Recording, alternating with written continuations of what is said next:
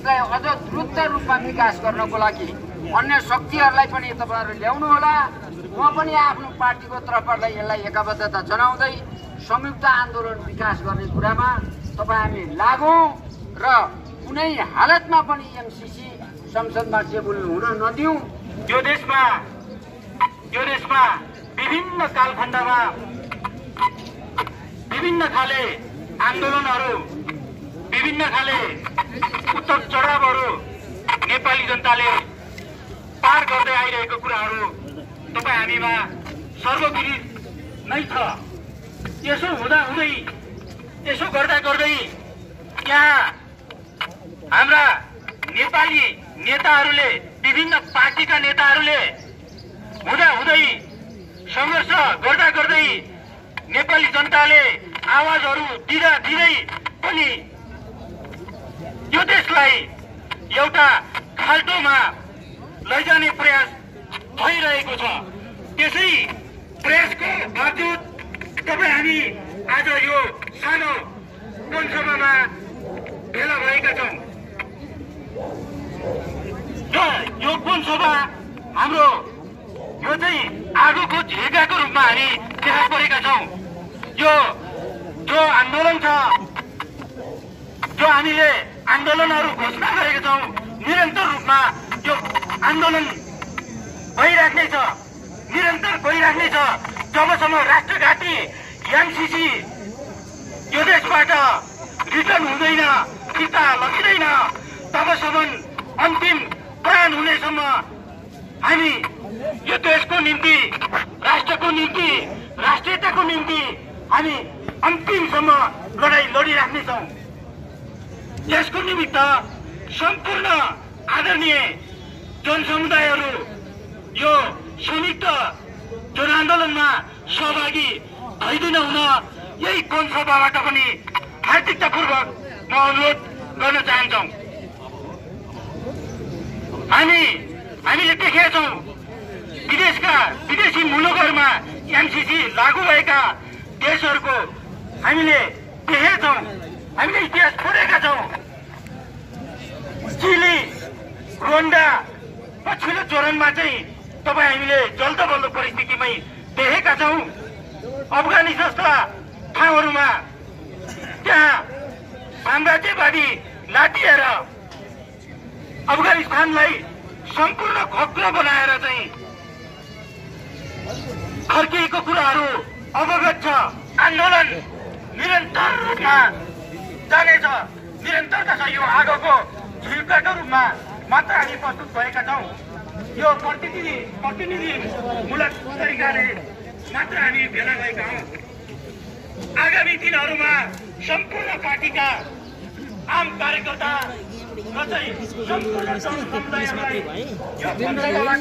के आग्रह गर्न चाहन्छौँ भने राष्ट्रको निमित्त राष्ट्रियताको निमित्त तपाईँ हामी अब कुनै यो पार्टी र त्यो पार्टी भन्नुभन्दा पनि राष्ट्रको निमित्त राष्ट्रिय स्वाभिमानको निमित्त तपाईँ हामी एक भएर बोलबन्द भएर खबरदारीको आवाजहरू यो रोडमा यो सडकमा चटाउन जरुरी भइसकेको छ। त्यसको निमित्त सम्पूर्ण सशक्त रूपमा आइदिनौ र चाहिँ यो विरोध गरिदिनौ यही सानो सभाबाट हार्दिक अनुरोध गर्न चाहन्छौँ कि खट्टाहरूले हेर्दैनन् भने हामी हामी यो आन्दोलन सशक्त रूपमा हामी जाने एउटा यही कुन सभाबाट हामी घोषणा गर्न चाहन्छौँ र हामी यो एउटा आगोको झिल्कोको रूपमा हामीले खबरदारी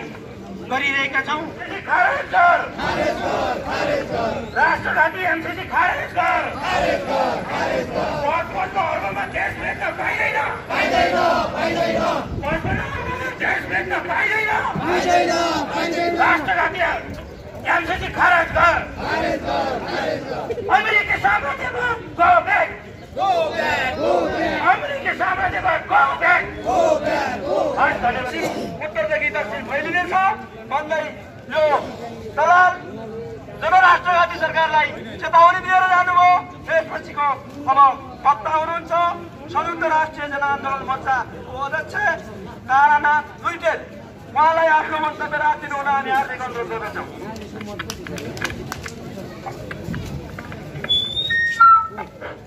धन्यवाद। बाइस दलको मोर्चाको नेतृत्व गरिरहनुभएका पूर्व मन्त्री सिपी मैनालीज्यू अमेरिकी साम्राज्यवादीले यो मुलुकमा एमसिसीको खोक्रा नारा दिएर यो मुलुकलाई मात्रै होइन चीनमा आक्रमण गर्ने हैसियतले नेपाललाई रणभूमि बनाउन खोजेको हुन् बेलायती साम्राज्यवादीले पनि नेपाललाई आक्रमण गरे नगरेको होइन तर नेपाली गोर्खालीहरूले बेलायती साम्राज्यवादीलाई प्रश्न गरेका थिए। जस्तै अहिले हामीले अमेरिकालाई पनि प्रश्न हामीले प्रश्न गर्नुपर्ने अवस्था अहिले आएको छ। आज हामी बाइस दल मात्रै होइनौँ। संयुक्त राष्ट्रिय जनआन्दोलन मोर्चाको हैसियतले म दुईटा कुरा मात्रै राख्न चाहन्छु। यो मुलुकको राष्ट्र राष्ट्रियतालाई बलियो बनाउनका लागि आज संसद आज हेर्नुहोस् संसदको हालत संसद संसद जस्तो छैन। नेपालीका नेपाली जस्तो छैन कार्यपालिका कार्यपालिका जस्तो छैन मुलुक त किन बन्न गयो? भने लम्पसरवादीका कारणले गर्दा यो मुलुक यस्तो अवस्थामा आयो। आज पश्चिमा मुलुकको आर्थिक प्रलोभनको कारण र विदेशी लम्पसरका कारणले गर्दा यो मुलुकलाई आज कसले छिटोभन्दा छिटो को ल्यान्डुप दर्जे बन्ने भन्ने कुरा आज देखिएको अवस्था छ। यहाँ ल्यान्डुपहरू तडा साथले मुलुक कहाँ बुझाउने कसरी बुझाउने हामीले सम्पत्ति कमाएर विदेशमा राख्दा भइहाल्छ। विदेशीमा हामी अमन चयन हामी गर्न चाहन्छौँ। हाम्रा परिवारहरूलाई सुख शयनमा राख्न चाहन्छौँ भनेर उहाँले मुलुकका नेपाली जनतालाई मालिक होइन दासको रूपमा आज दिएको छ। हामीले पैसा कमाएका छौँ। हामीसँग पैसा छ। हामी विदेशीको आडमा हामी अगाडि बढेका छौँ। हामीलाई कसैले अब हेप्न सक्दैन।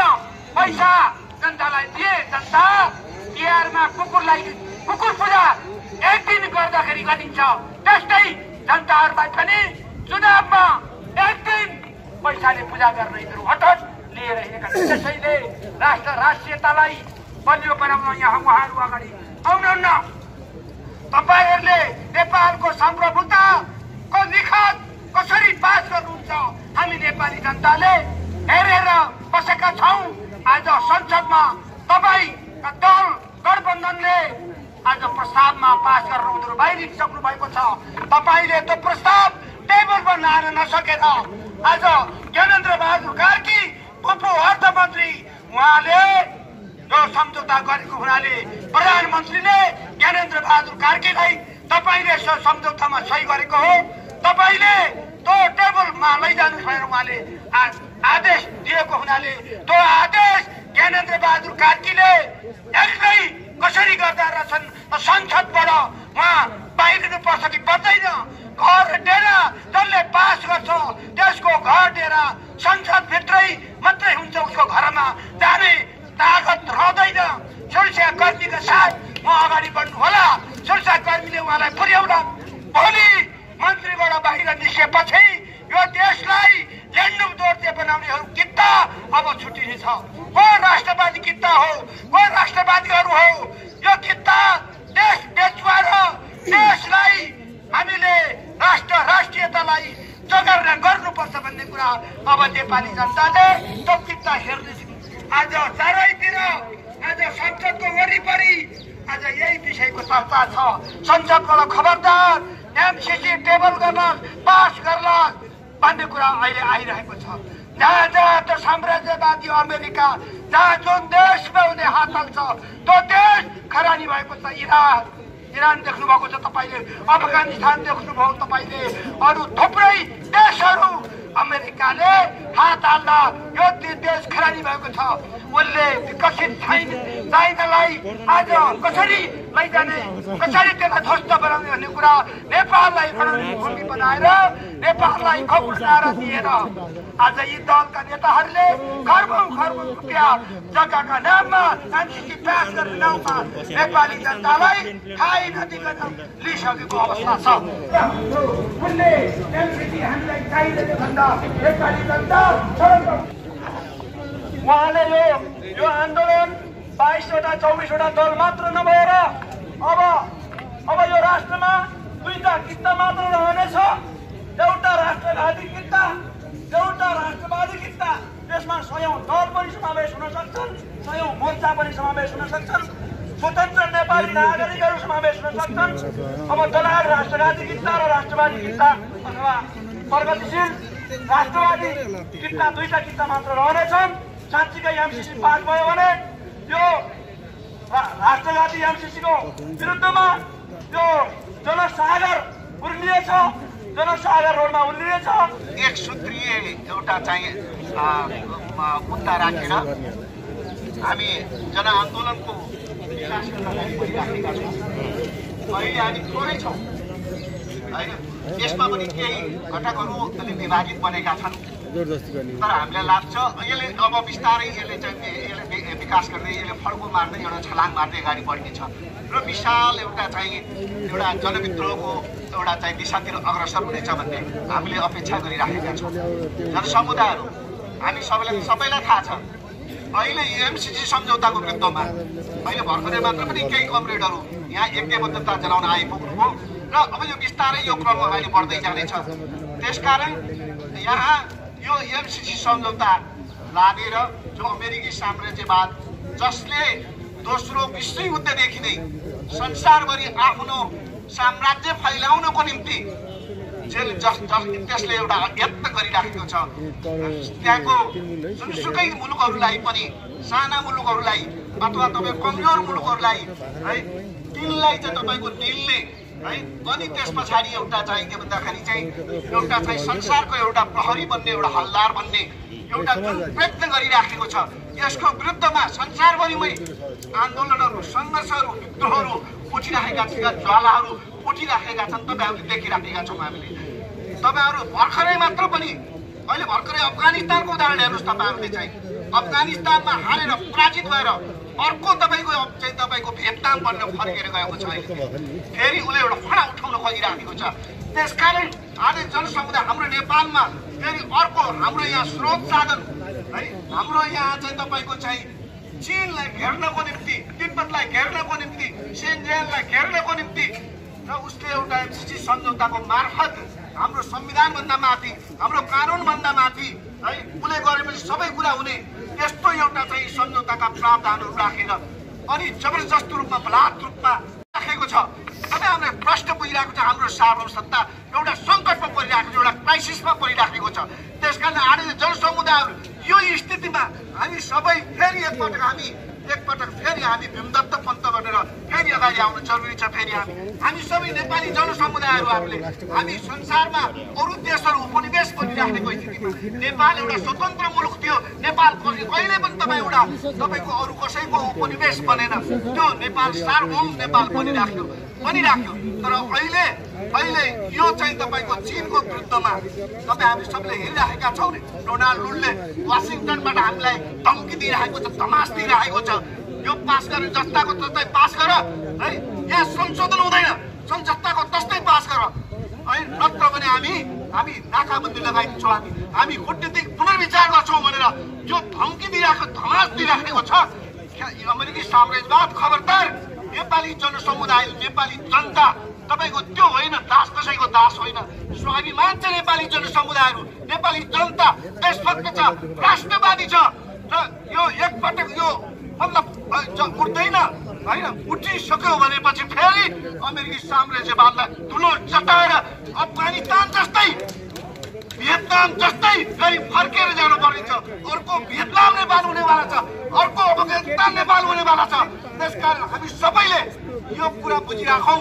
कि आज जनसमुदाय हामीले भनिरहेको छ हाम्रो ताकत नेपाली जनसमुदायको ताकत कति छ हामीले हेरिरहेका छौँ बेला बेलामा दस वर्षमा जनआन्दोलन उठिरहेको छ बेला बेलामा युद्धहरू भइराखेका छन् दस वर्षका युद्धहरू भएका छन् हामी सबै यसका भुक्तभोगी छौँ हामी सहभागी भएका छौँ यसमा यसमा भाग लिएर आएका छौँ त्यसकारण नेपाली जनसमुदाय यदि हामी हाम्रो देश भोलि बेला यस्तो नाबुद हुने स्थिति आयो भने भटिया मेट हुने स्थिति आयो भनेपछि नेपाली जनसमुदाय फेरि हतियार लिएर है फेरि तपाईँको बन्दुक लिएर लड्नुको निम्ति आदरणीय जनसमुदाय फेरि तयार हुनेछ त्यसकारण आज जनसमुदाय हामी यो अपिल गर्न चाहन्छौँ र हामी के भन्न चाहन्छौँ भनेदेखि हामी यो अहिले जनआन्दोलनलाई फेरि एउटा विस्तार दिउँ र अरू बाँकी रहेका घटकहरू बाहिर रहेका हाम्रो छलफल जारी छ हामी छलफल चलाइरहेका छौँ र एकै ठाउँमा हामी आउने गरिकन जो आउन सक्दैन त्योले प्रहारको निशाना एक ठाउँमा बनाउने र अरू बाँकी हामी संयुक्त मोर्चा अन्तर्गत हामी कार्यगत एकता गरेर यो राष्ट्रियताको मुद्दालाई यो सार्वभौमसत्ताको मुद्दालाई देशलाई बचाउने मुद्दालाई देश रह्यो भने मात्र हामी रहन्छौँ नेपाली जनसमुदाय रहन्छ नेपाल भन्ने रहन्छ देश रहेन भने केही पनि हुँदैन त्यसकारण यसको निम्ति एक सूत्रीय मुद्दामा सबै गोलबन्धको हुनुको निम्ति सबै क्रान्तिकारीहरूलाई छरिरहेका क्रान्तिकारी देशभक्तहरूलाई राष्ट्रवादी शक्तिहरूलाई राष्ट्र चाहिँ तपाईँ लोकतन्त्रवादी अथवा प्रजातन्त्रवादी शक्तिहरूलाई जो फेरि अर्को ल्यान्डुक बन्न खोजिरहेका छन् महाकाली बेचे कोर्सी बेचे होइन गण्डक बेचे फेरि अर्को देश बेच्नको निम्ति तयार भइरहेका छन् यी ल्यान्डुकहरू नयाँ एक्काइसौँ शताब्दीका ल्यान्डुकहरूको विरुद्धमा। हामी नयाँ ढङ्गले अगाडि बढौँ यही अपिल गर्दै म यहाँ बिदा हुन चाहन्छु। हस्त क्रान्तिकारी अभिवादन।